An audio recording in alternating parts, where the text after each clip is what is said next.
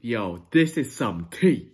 Okay, you guys, look at this. I mean, hello, my name is He. Welcome to my YouTube channel slash podcast called Bridge to K-Pop where you give some K-Pop tea. Okay, so look at this article right here. It says, armies demand apology from German TV stations for slandering BTS and armies are very upset about the show.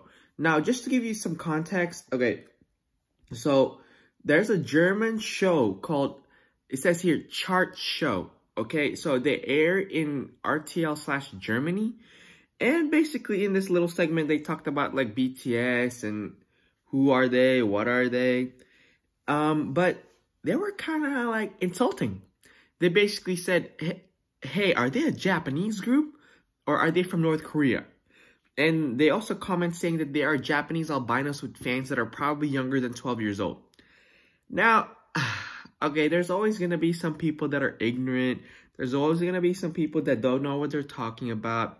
I don't know if they meant to be insulting, but honestly, look, I don't get offended over things people say because they don't know what they're saying. They're, they are ill-informed. You know, it's almost like you're talking about something that you literally have no idea what it's about. And the answer is no, they're not a Japanese group. No, they're not from North Korea. They're from South Korea.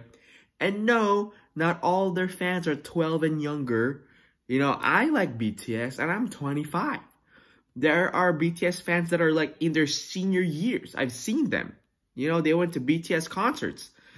So when people say that, I feel like either they just want attention, you know, because maybe their program needs more fans, probably fans of all ages, just like BTS, or they just don't know what they're talking about.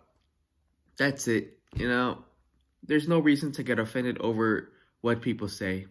It's just like, to me, when someone insults like a group of mine, I'm like, okay, they don't know what they're talking about, and maybe it's not their thing, and that's okay. I respect their opinion, but personally, I'm still gonna listen to BTS no matter what. That's it. I choose not to get offended. That's it. Alright, I'm gonna end this video right here. Thank you guys so much for watching. Please don't forget to like, subscribe, and comment on the video. And I'll see you guys in the next video slash podcast. Hard face. And also, if I can wrap this up, if I can wrap this whole story up in two words, this is it.